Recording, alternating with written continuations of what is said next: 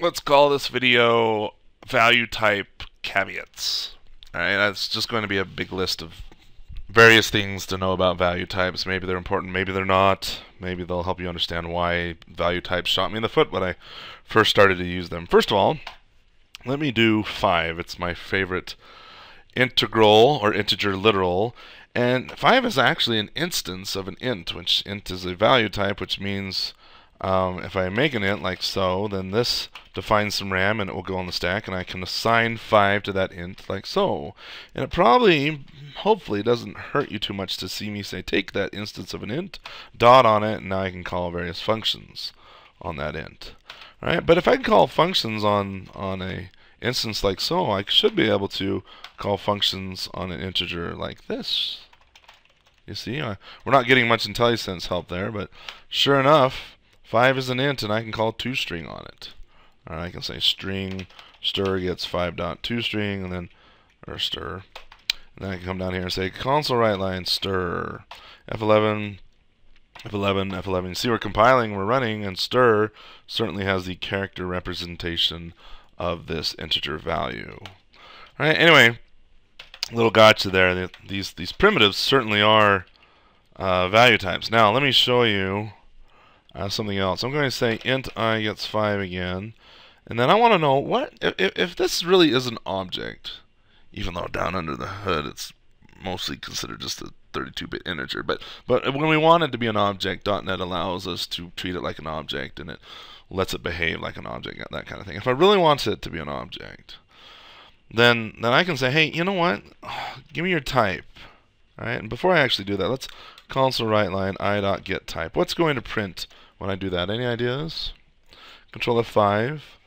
There you go. The actual type is system.int32, and I showed you how the compiler, when it sees int, it literally just replaces that with system.int32 like so. But now I'm curious, you know, it's it's it's an object. What what is the uh, what is the base type of an int 32?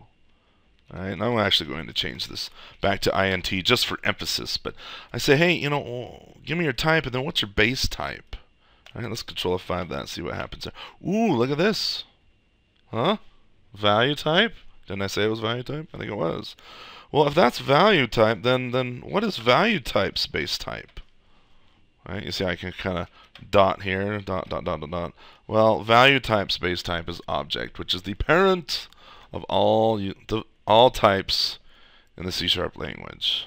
All right. Now, if I come here and I say dot base type again and run that, well, now I'm looking at object's base type, which is null, and this is what happens when you print null. And if I try to dot further on that, um, this returns null, and so I try to dot on that, and that'll give us our wonderful friend, the null reference exception.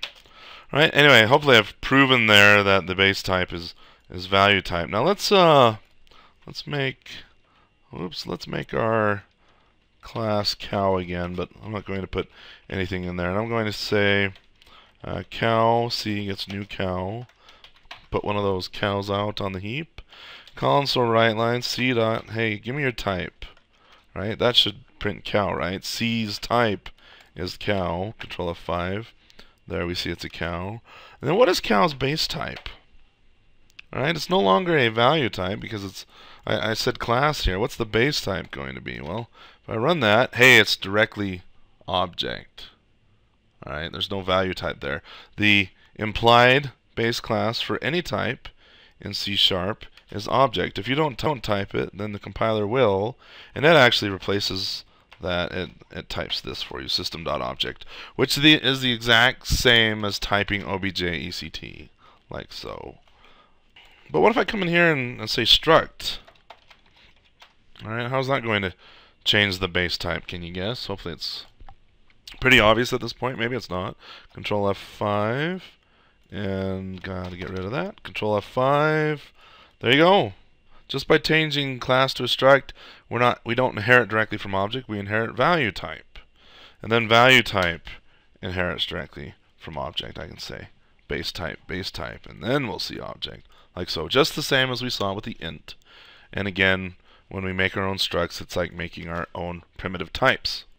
Now some caveats about value types you cannot inherit from them, like I can't say class my weird cow inherits from cow.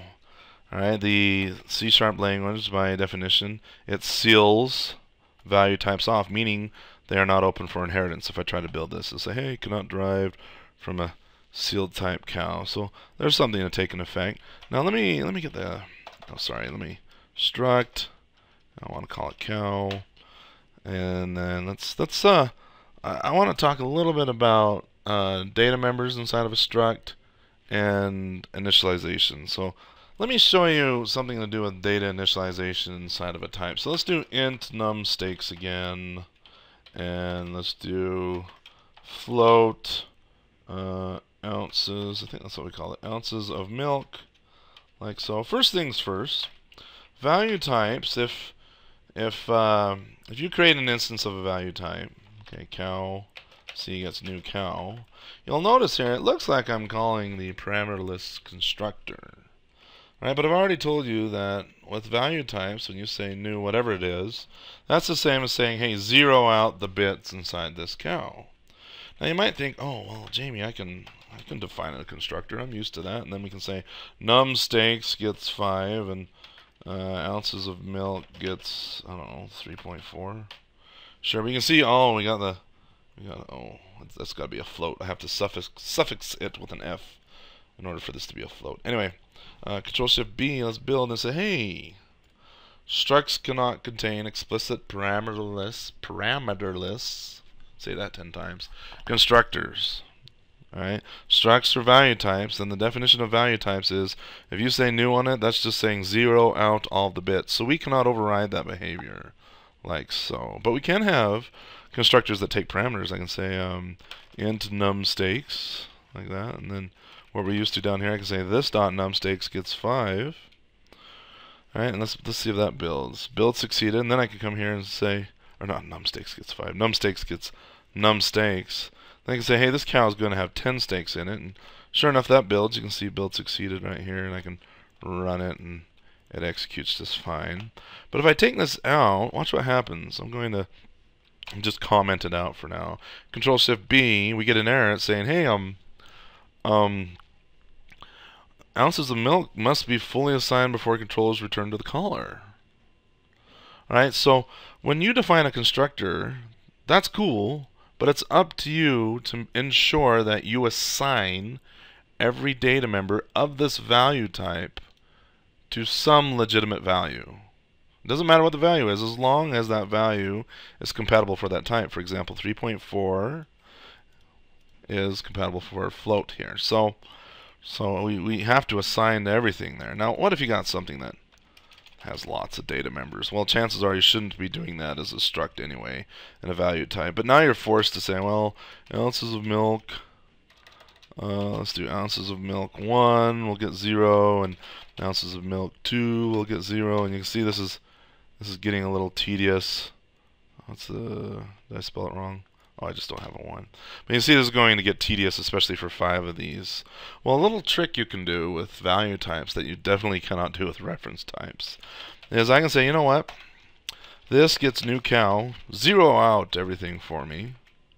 This instance zero it out for me, and then I'm going to change num steaks to whatever they pass in. All right, I, ho hopefully that feels uncomfortable to you, but let me build this, prove it builds right here, run it. You can see it runs with no issue. Uh, that's okay with value types because all we're saying is this is the object, and this in a value type means the actual object. This, unlike reference types, this does not reference an object out on the heap. It is the object, right? This is the object. And I want to zero out all the bits in that object. Now if I come up here and say, yeah, you know what, let's make it a class. Well, now this won't compile because it's like, um, um, you can't. Oh, wait, I got to pass the number in here. Let's pass the number in here. Okay, now here's the error I was trying to get to.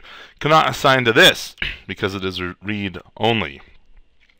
Which makes sense. It'd be kind of interesting if you could do this. This would be kind of if you let me just kind of draw how I think that would work if they allowed it to work, though it also doesn't make sense. So stack and heap, all right, and then we um, we say new cow, all right. So C is sitting here, it's referencing this cow that we make, the new cow, which has a bunch of floats in it and that kind of thing. Really big cow. But then I say this, this is the, the implied pointer. It's like this gets new cow. It's it's like uh, make a new cow and this is the new cow. No, it's this is the cow, not this. The, the, the, the. See, that doesn't work. However, with a value type, this is the object. Have a heyday. Zero it out if you want to. That's totally fine.